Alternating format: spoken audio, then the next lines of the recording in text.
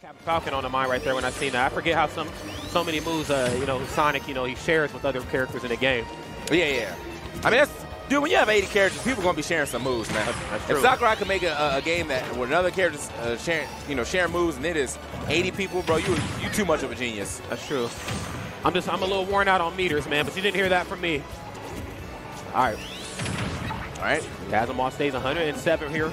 Able to snap, and I like that, man. Homing attack Ryanson would look to be a down smash coming out now. Again, Cosmos out of eight. What is he to do? The backer closes it out. Gets himself the grab. Can't get too much more off of that, man. He already put the damage on him, man. He's got a, a little bit of rage, so I feel like he couldn't go for the neutral air stuff. Okay, nice delay jab right there. Getting a little fancy at the ledge. Catches the neutral. Get up. That was a smart option met by even better one right there from Cosmos. Yeah, you saw Cosmos actually try to catch that uh, that uh, homing attack in with the forward air. Okay, there we go. Neutral air, back air this time. Yeah, Sonic's homing attack is just a difficult move to pinpoint as it is anyway, man. Sometimes you just got to let him do it if you really can't pinpoint where he's going. Yeah, but also, you know, if Sonic, if you're able to spot dodge it or like, you know, run away from him and Sonic hits the ground, it's like dumb punishable. So, That's true. you know, he might have to use a little bit of that movement as he sees it charging up to get up out of there. Back throw, not going to be enough yet. Very close. He will not be able to take another back throw. See how he gets off the ledge? Jumping up. Okay. Oh, Oh, high. I don't damn. know what the hell that hitbox is right there, but goddamn it, it works. Yeah. All right, man. Well, Let's see how this goes right here. see how this one plays out. Right, Roguelite, eight goblin. Uh, you know, Rogue Light actually starting up at level two, man. If you saw him yesterday, my boy had the hoodie up, and then after he took that hoodie down, it was all over for Esam. So, Yeah, this is a Ascended Super Saiyan. It's like almost level two, but not quite. yeah, yeah. This is Ascended Light right here. And then he went Super Saiyan 2, then he went Dark. My man said he was a Super Saiyan 1.5 out here. Yeah. Oh! oh my goodness. Wow, just just barely off. Uh, no Magnet Hands really helping out uh, uh, Roy there. So, yeah, that's one thing I think Goblin will have to watch out for, man. Light is really good at parrying, and uh, and Goblin wants to land on your shield all the time. So, or just on you, but you know, on your shield. You can drop in some up airs, some forward airs, into neutral, uh, into uh, into jabs and things. But you can't get your jab out if you're just getting carried all the time. That's where I think the best thing for him to do in a situation like this is, you know, you can still do your aerials, but maybe try to cross him up. That way, at least if he gets the parry, now it's up to Light to try to dictate what he's going to hit you with so he can catch you.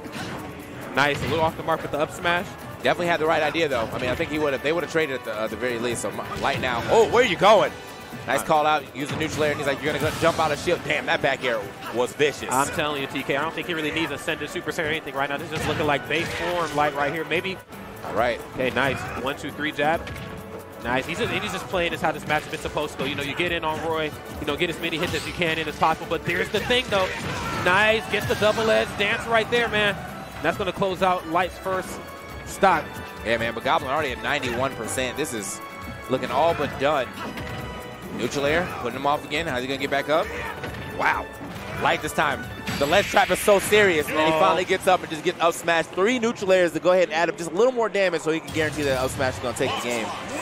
And Goblin get into our second game. I don't really, like, there's there's too many notes to have for me to be like, well, what does Goblin got to do to get in here? Like, basically, like, you got to round it up to just, hey, man, you got to play You got to play around this Fox better, bro. Yes. Because, I mean, like, you were falling in all the Fox traps. Yeah, and And the again- parries are on point, man. Yes, and here's the up tilt. So there's not really much he's to be able to do. He's got to just eat all of that. Nice.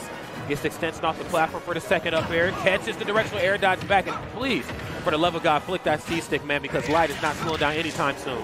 I, I feel like there was some way he could have DI'd that to get out those up tilts a little faster. I might be wrong, though. But, I mean, he was getting hit to the back and back to the front. So I just, you know, I feel like if holding out in whatever direction you were going probably would have helped him out, or at least avoided him going back and forth the entire time. But it's all good. That's right. You know what I'm saying? Still got some decent damage on his. Oh, Oh, yeah, some decent damage. Now he's back to zero, but at the cost of that first stock. But I, I got to say, I, He didn't, he didn't, even, he didn't even put him in a, in a tumble, too. He- that was a slide in there uh, to up smash. Good stuff uh, to light.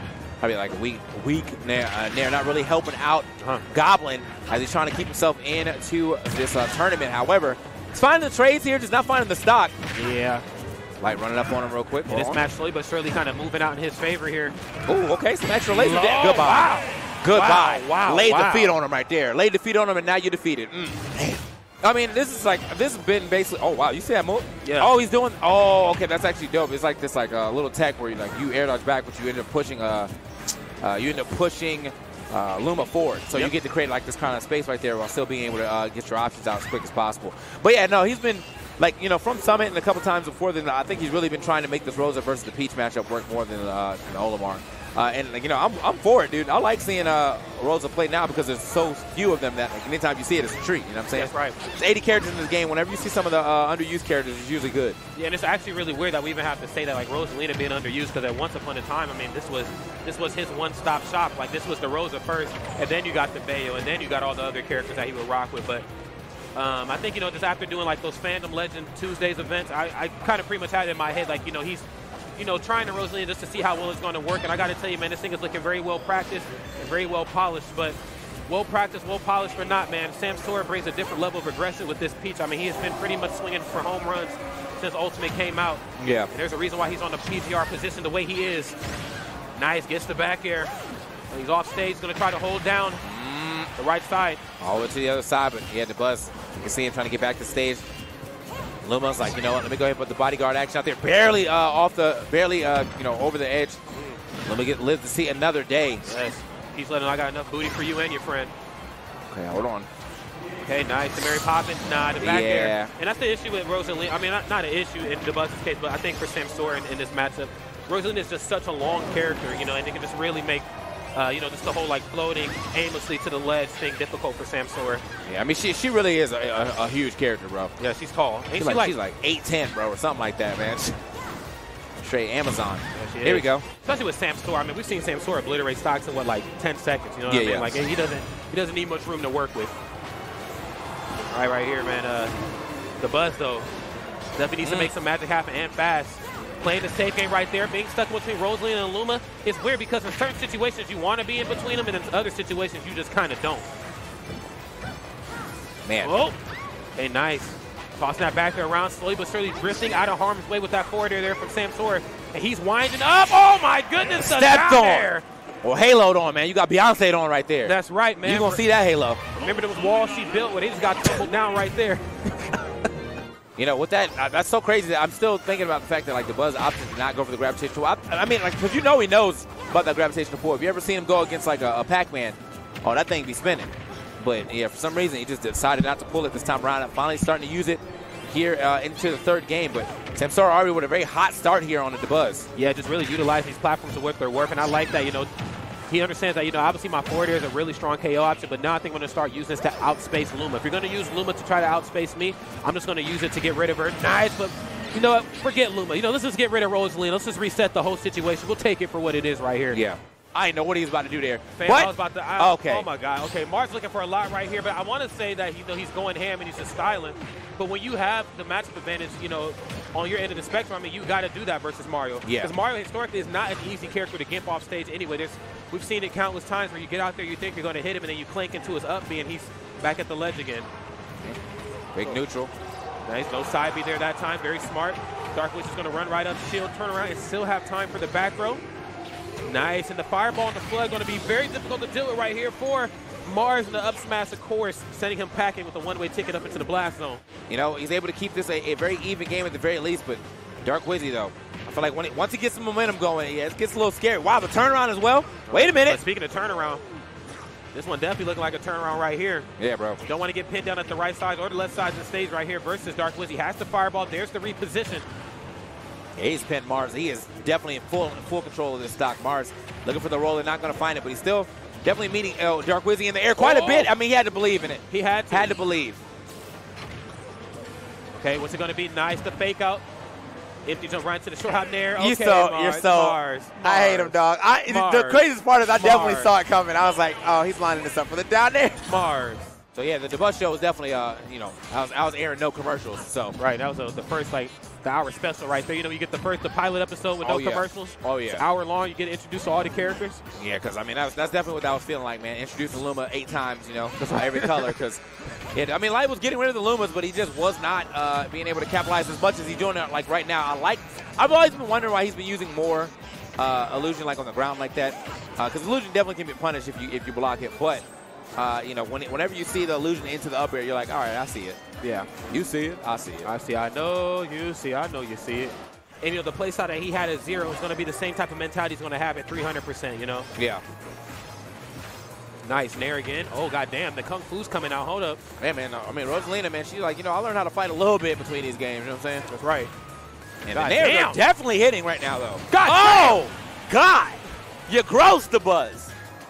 Okay. My boy Samuel Dabuz went from him to Samuel Jackson right there, man. Yeah, bro. Said do it again. Do it again. Say it again.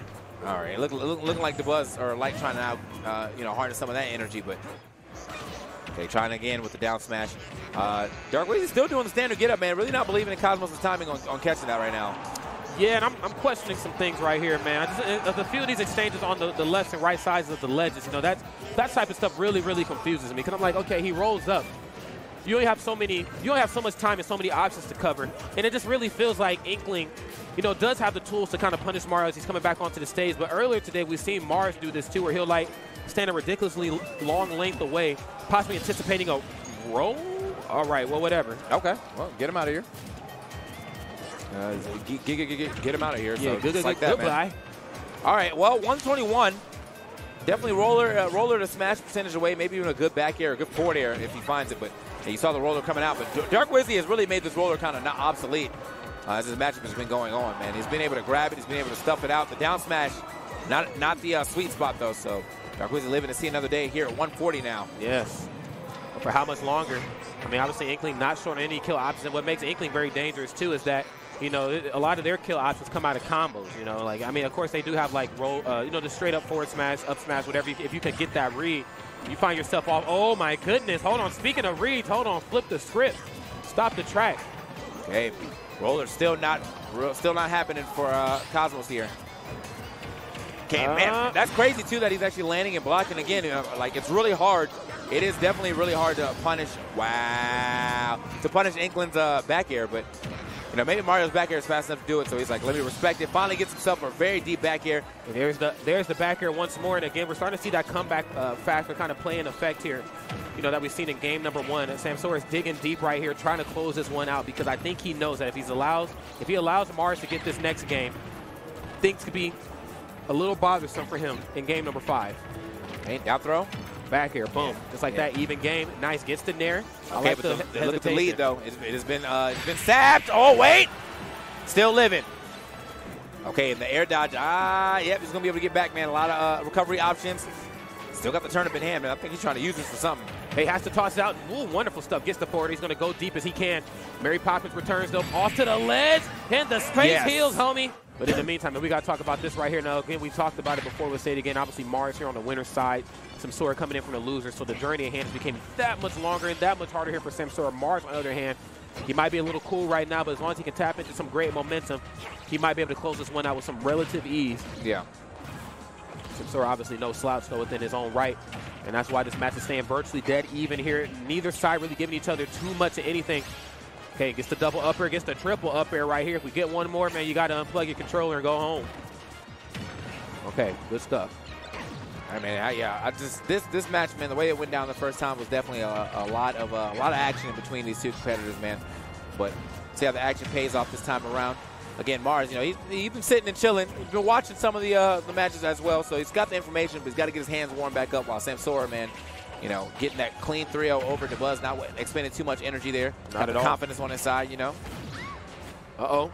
Nice, the empty jump into nothing, but then runs right up and gets the up smash. Now, not quite enough to get the stop Damn. taken. The space, move over red bottoms. The space hills are getting it done, man. That's the way to a woman's heart. Yeah, I mean, he, he really just... Let's see how well he's going to try to tighten up here. Nice, no tilt afterwards. Gets the parry, though. great. Okay, Again. Yeah, he is definitely dropping the feet on him right now, man. A lot of forward airs into the, uh, the second forward air to get both the hits. Back air. Oh, it's going to be enough to slide up past that blast zone. Last stock. That was that was some greasy stuff. I like that, man. He yeah. went for the double run in and out and just waited. He said, please jump, homie. That was like just enough, too, for him to get past that blast zone. But last stock here mm -hmm. for our competitors, man, on the first set, Samsora with a pretty solid lead, but now you see Marss trying to dig into it. Oh, the jab's taking a little too long to come out. That's right. And didn't delay the jab at all that time. Just went for the immediate one, two, three jab. And I get it. You know, it's a quick move out of out of shield. Why not? One of the fastest jabs in the game, too, mind you. Yeah, would have definitely would have believed that was going to hit. Uh-oh. Fighting his way back. Nice. Not even electing to go back to the ledge. Yes. Has to fight his way back. Goes for the flip kick back on, and Sam Samsora is just moving on him. Oop, Samsora somehow fading his back air and, and getting his own. Let me get that forward air off the ledge. Yes, and then caught the turnip again. That's the second time we've seen that. Oh no. Oh no. Notice that notice that Martin's definitely not trying to jump over Samsora anymore, man. He's he's been hit by too many up smashes, probably be like, all right, this is a safe option. You know, you oh okay. That, he I can't believe he got that one. Oh my goodness. Okay. It's, it's getting scary. A lot of, lot of room to work getting with. scary. Nice, nice. Gets the down there right on top. That's out the forward air. Oh, he oh! bet so big! Oh my goodness.